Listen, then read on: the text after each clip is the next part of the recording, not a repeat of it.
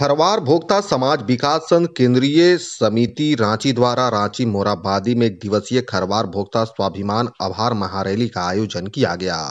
कार्यक्रम में मुख्य अतिथि केंद्रीय अध्यक्ष दर्शन गंजू और विशिष्ट अतिथि पूर्व विधायक जयप्रकाश सिंह भोक्ता डॉक्टर देवशरण भगत, केंद्रीय संरक्षक योधेश्वर सिंह भोक्ता रोशन लाल चौधरी सहित कई लोग मौजूद थे।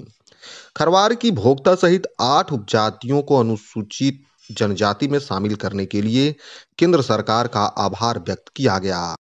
इस महारैली में झारखंड, बिहार, पश्चिम बंगाल, असम, उड़ीसा, छत्तीसगढ़, उत्तर प्रदेश से खरवार समाज के लाखों की संख्या में लोग शामिल हुए। खरवार भोक्ता समाज विकास संघ के केंद्रीय अध्यक्ष दर्शन कंझू ने अपने स्वागत भाषण में केंद्र सरकार के प्रधानमंत्री नरेंद्र मोदी, अमित शाह और जनजातीय मंत्री अर्जुन मुंडा का हृदय से स्वागत किया। इस कार्यक्रम की शुरुआत नीलांबर पीताम्बर पार्क रांची स्थित पथलगढ़ी में पाहन द्वारा पारंपरिक रूप से पूजा अर्चना के साथ किया गया, तथा महापुरुषों की समाधि स्थल पर माल्यार्पण की गई। उसके बाद शहीद की बेदी पर माल्यार्पण किया गया। कार्यक्रम का शुभारंभ दर्शन गंजूर पूर्व विधायक जयप्रकाश सिंह भोक्ता सहित अन्य अतिथियों ने दीप जलाकर किया।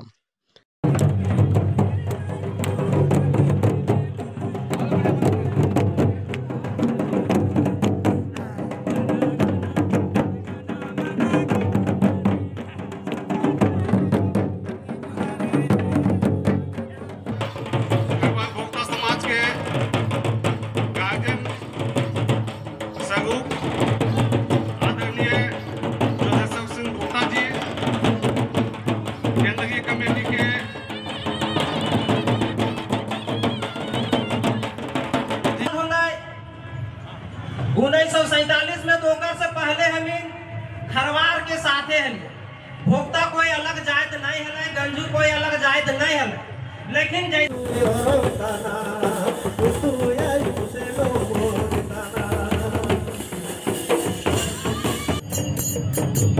नेताओं को इस मंच के माध्यम से आभार व्यक्त करते हैं।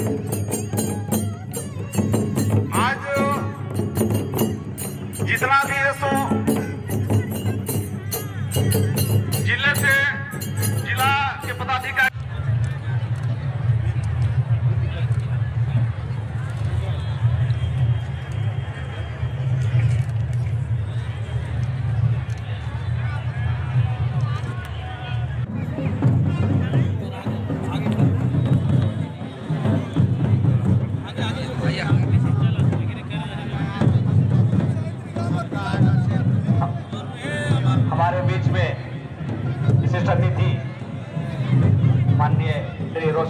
चौधरी जी उपस्थित हैं। उनसे आग्रह है कि वो मंच पे आके अपना स्थान ग्रहण करेंगे। श्री रोशन लाल चौधरी जी।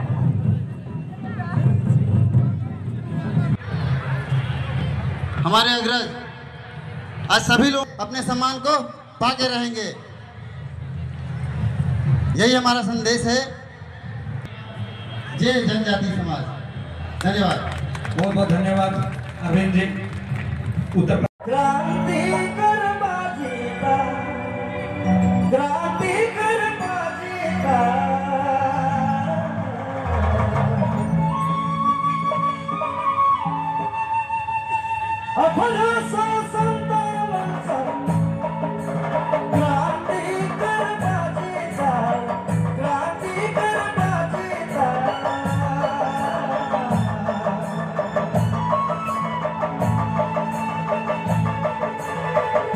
Mama, come.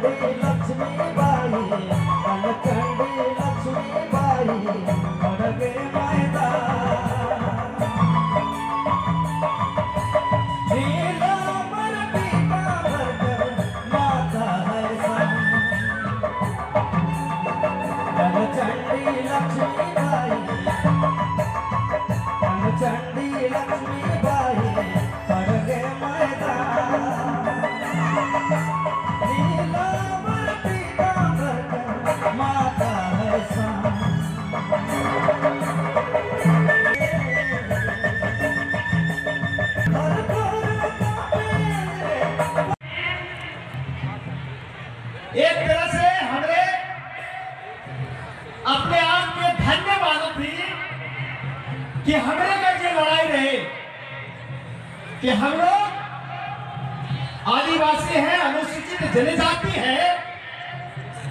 और ये लड़ाई बहुत दिन से चल रहा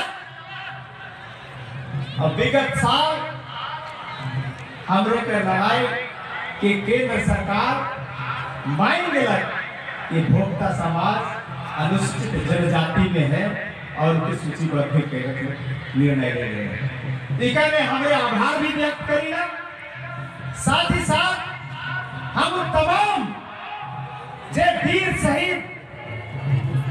स्वतंत्रता सेनानी है।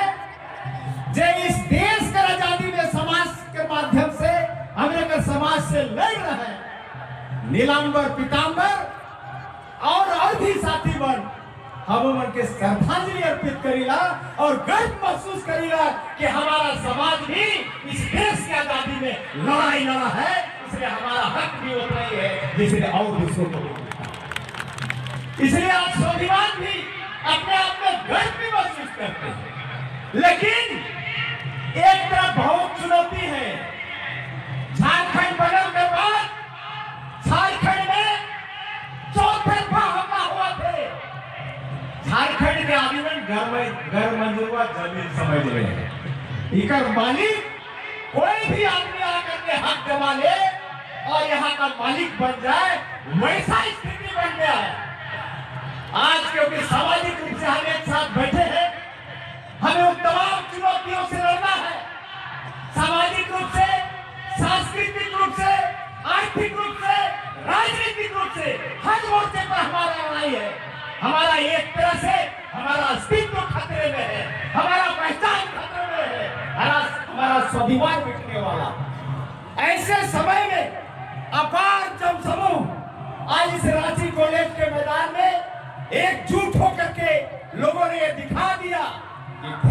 समाज में वो ताकत है, लड़ाकू समाज है, लड़ सकता है, कर सकता है, मर सकता है, झुक नहीं सकता है। ये हम लोगों ने ताकत को दिखाया है। हम उम्मीद करते हैं कि आने वाले और ये कार्यक्रम जिस निमित्त रखा गया है, आप सभी जानते हैं, कई वर्षों अंतराल हम सबों को ये उपलब्धि हासिल हुई है। हम सब ऐसे तो हम सब जानते हैं कि 22 वर्षों से हम ये आंदोलन कर रहे हैं। लेकिन इससे पूर्व भी रामदेव सिंह भोक्ता जी और मेरे पिता स्वर्गीय महेंद्र सिंह भोक्ता जी लगातार अपने प्रयास करते रहे कि आखिर हमारे समाज का पहचान क्या है। और इस पहचान को ढूंढते ढूंढते आज हम इस मौका पर पहुँचे हैं। ये लड़ाई कोई आरक्षण की लड़ाई नहीं थी। आरक्षण प्राप्त करके नौकरी पाने की लड़ाई नहीं थी। ये हमारे संस्कार, हमारी संस्कृति, हमारी परंपराओं को जीवित रखने का, हमारी पहचान को, जो हम लोग खोते जा रहे थे, जो एक मूलवासी की जो पहचान होती है, हम जंगलों में निवास करने वाले हैं, प्रकृति के गोद में निवास करने वाले लोग हैं। हम प्रकृति के पूजक हैं, प्रकृति के उपासक हैं। और ये सारी व्यवस्था होने के बावजूद भी हम अपनी पहचान से कोसों दूर थे। उन महान विभूतियों के प्रयास से, अपने समाज के वर्तमान अध्यक्ष के प्रयास से, समाज की वर्तमान केंद्रीय कमेटी के प्रयास से, और आप तमाम जनमानस जो यहाँ उपस्थित है, आपके प्रयास से आज ये सफल हो पाया है। हम पुनः अपनी पहचान को प्राप्त कर पाए हैं। आदिवासी का दर्जा हमें मिला है। चौहत्तर वर्षों का जो हमारा मूल पहचान खोए हुए थे, वह पहचान हमारे श्रद्धे प्रधानमंत्री माननीय श्री नरेंद्र दास दामोदर मोदी जी, हमारे गृह मंत्री अमित शाह जी, हमारे माननीय जनजाति मंत्री अर्जुन मुंडा जी, साथ ही जनजाति राज्य मंत्री रेणुका सिंह जी विश्वेश्वर टुडू जी साथ ही साथ सामाजिक न्याय अधिकारिता मंत्रालय, डॉक्टर वीरेंद्र कुमार जी, यानी पूरे हमारे भारत सरकार के जितने भी कैबिनेट मंत्री और यहाँ के सांसद और जितने भी राज्यसभा सांसद दीपक प्रकाश जी से लेकर बाबूलाल मांडी जी का सारा अनुशंसा भारत सरकार के जाने के बाद यह एहसास हुआ कि इन लोगों के साथ जब देश आज़ाद हो रहा था, उन्नीस सौ सैंतालीस में और 1950 में जब जाति का श्रेणी निर्धारण किया जा रहा था।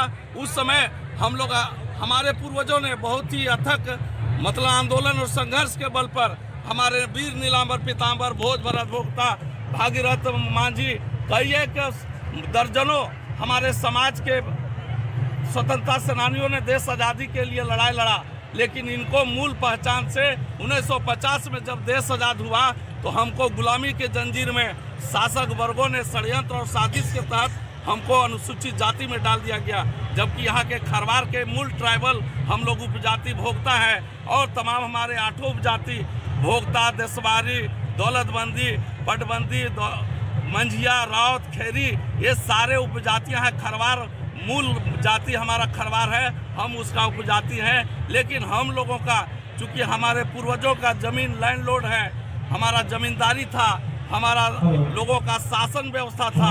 उस शासन व्यवस्था को मतलब है तोड़ तोड़ मरोड़ करने के लिए शासन व्यवस्था को बर्बाद करने के लिए हम लोग कितनी जनसंख्या है आप हमारा जनसंख्या लगभग दस बारह लाख के लगभग में है। तो ये जो भीड़ है तो क्या माना जाए कि बीजेपी की तरफ़ आप लोग अब झुकाव होगा? क्योंकि आभार जता रहे हैं तो आभार तो वोट देकर भी जताया जाता है। नहीं नहीं वोट का